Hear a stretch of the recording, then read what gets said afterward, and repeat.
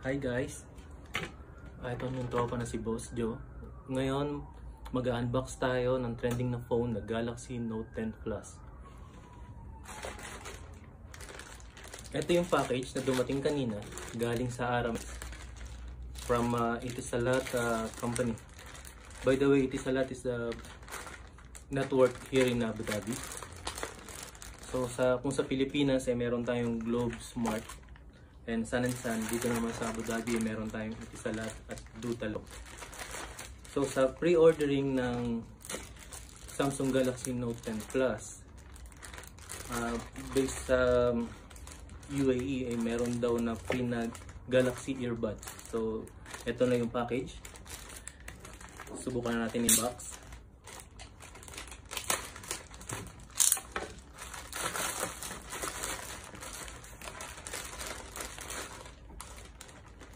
So, ito yung package na Galaxy Note 10 with the Galaxy earbuds.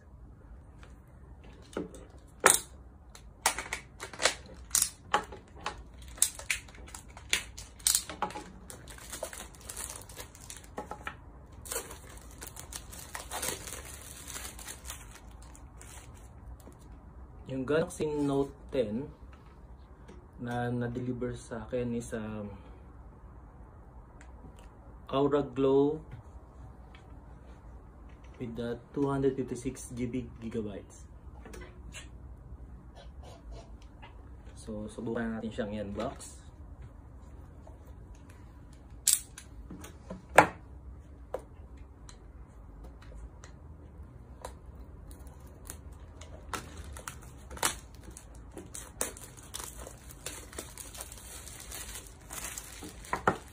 Lagyan natin ito dito.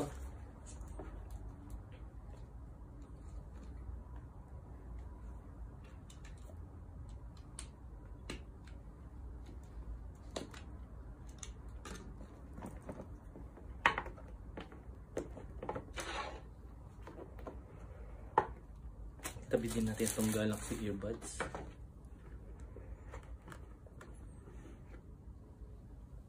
Ang pagbukas ng box, ito ang premium phone.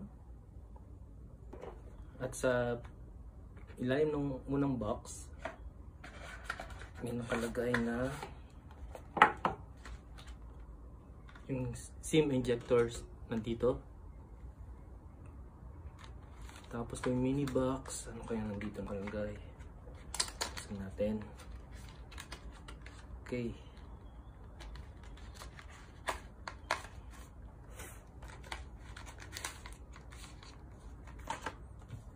nakalagay yung mga quick start guide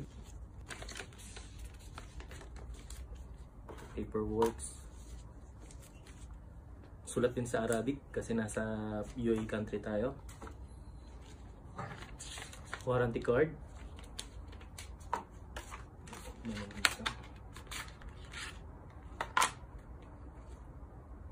isang transparent uh, case So, no need nang bumili. Tapos may guide din how to transfer from your old phone to a new Galaxy Note 10 Plus.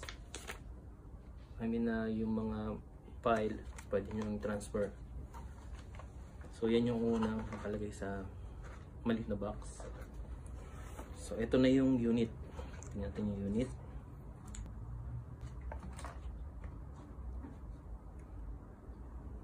itabi muna natin Ayan na.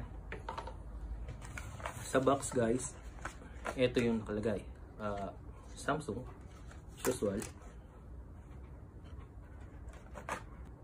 tapos ang charger super fast charger. Ang normal charger hindi ko lang kung ilan watts pero ito is nakalagay 25 watts.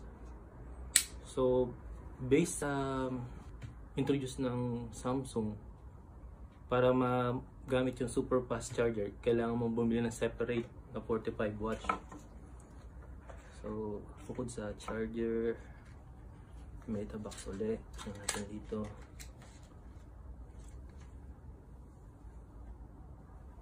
Hindi parang USB port. Tapos ba yung nakalagay dito?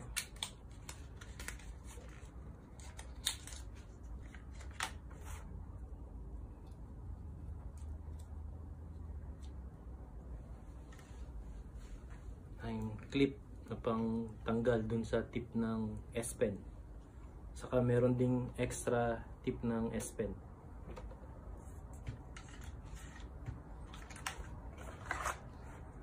Tapos, syempre, USB cable, Type C. Type C na siya guys. Then, ang headset from AKG. Tingnan natin yung headset from AKG.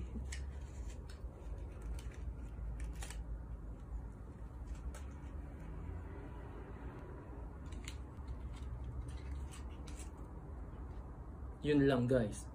Talagang declare na na hindi na natin magagamit yung mga old nating headset kasi ang dulo niya is USB Type-C na. Pero okay pa rin kasi from AKG. Tapos may extra earbuds tip.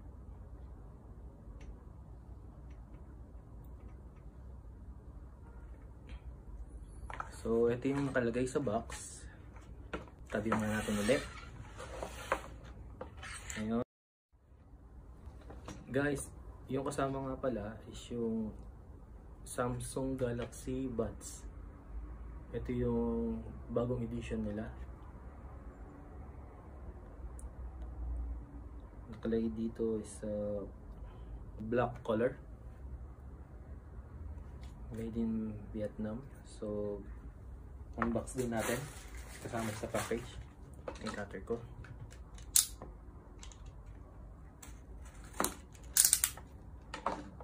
Ito lang yung kagandahan pag nagpa-prebook ka kasi may kasamang freebies. Baga hindi mo na siya kaya bibili ng hiwalay. Napakamahal din na itong Galaxy uh, Buds. So pagbukas ng box,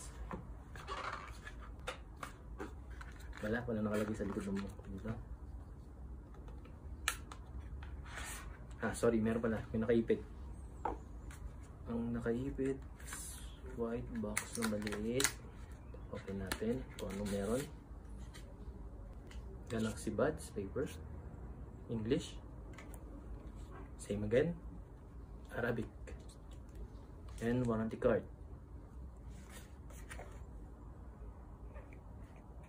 Then, ito yung unit. Pero, ba muna natin. May maliit na box din ulit dito. Kasi maliit na badge. Ayan to. Hmm. Extra ear tip. This one, rubber ear tip. Tapos, may wire. USB. USB Type-C. So, itabi natin ang box niya. Ito yung unit. Napaka-handy.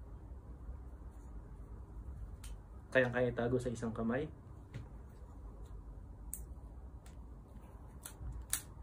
Oh. Tingnan natin to. Itong kalat.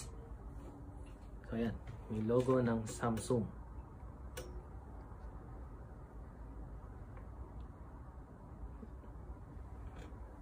logo siya ng Samsung. So, pag binuksan yung box, ayan.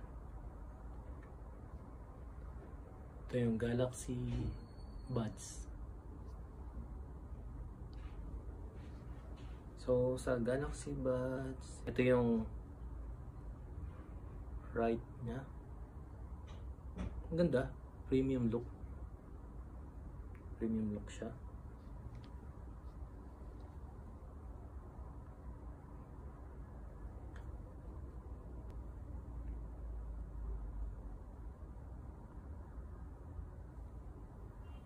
Okay siya. Fits sa anong kahit klaseng laki ng tenga.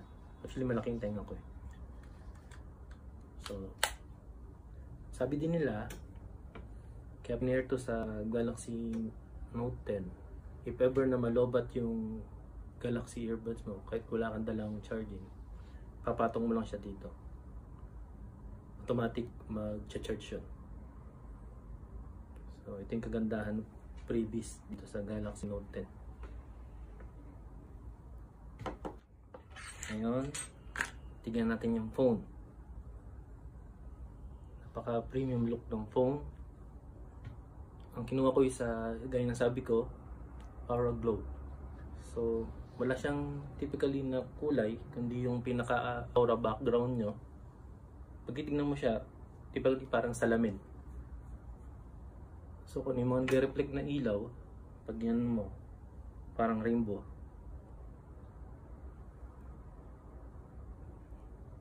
Tapos, uh, gaya nga sabi ko, wala na siya yung 3.5 headset jack. USB Type-C na siya. Tapos, ang famous na S Pen. S Pen blue color. Ganda ng combination. Parang silver o salamin tignan tapos plus blue yung S Pen niya.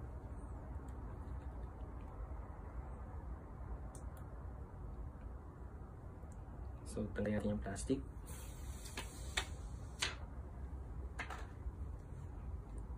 Okay na guys. Kaya lang napaka-prone niya sa fingerprint.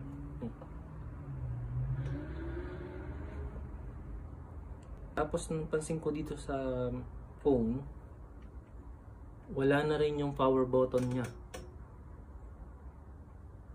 So pinagsama na nila yung button sa isang side, nasa left side.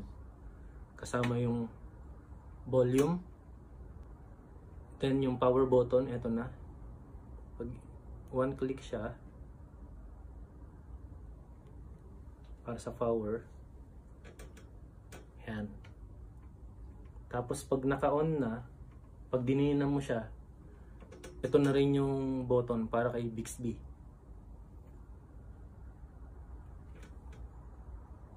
So masabi ko talagang napakaganda ng Galaxy Note 10 Plus. So guys, para sa karagdagan na video na ilalabas na susunod, huwag niyong kalimutan na i-click ang subscribe at yung bell button. So sa ngayon, enjoy ko muna tong Galaxy Note 10 Plus. Siguro sa mga susunod gagawa ko ng another video para naman sa experience ko sa paggamit nito. So hanggang sa muli mga tropa.